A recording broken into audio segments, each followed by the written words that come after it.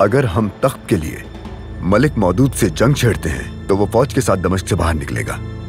और इस तरह दमश्क में फौज की तादाद बहुत कम रह जाएगी।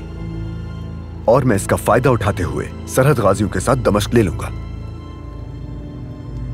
मलिक मौदूद से तख्त के लिए जंग करना मुश्किल होगा क्योंकि मलिक दौलत ने उसकी मदद करने के लिए कहा था। मलिक मौदूद की फौज भी मूसल से आ चुकी मेरे सुल्तान। मलिक दौलत की फौज अभी यहाँ नहीं पहुँची मेरे सुल्तान।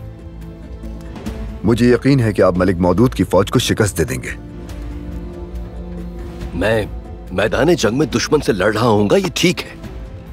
लेकिन तुम्हारा काम बहुत ज़्यादा सख्त है।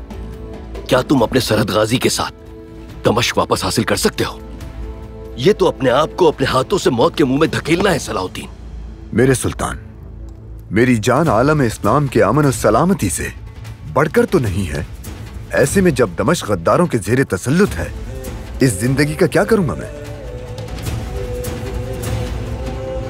फतेहयाब होने के लिए हमला करना ज़रूरी है। तुम्हारी ज़िंदगी दमश्क से कम नहीं है किसी तरह। इज़्ज़त अफजाई है मेरे सुल्तान। लेकिन आप फ़िक्र मत करें। अगर अल्लाह ने चाहा तो हम ज़रूर फतेहयाब होंगे मेरे सुल्तान। और फिर हम गजा का रुख करेंगे, कुदस का रुख करेंगे।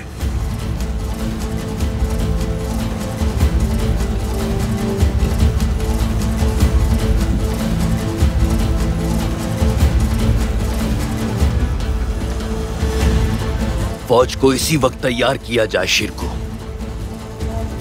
कल तख्त के लिए जंग करेंगे हम। सो अब जबकि तकदीर हमें मौत और ज़िंदगी के दौराहे पर ले आई है। या मिटा देंगे उन्हें, या मिट जाएँगे।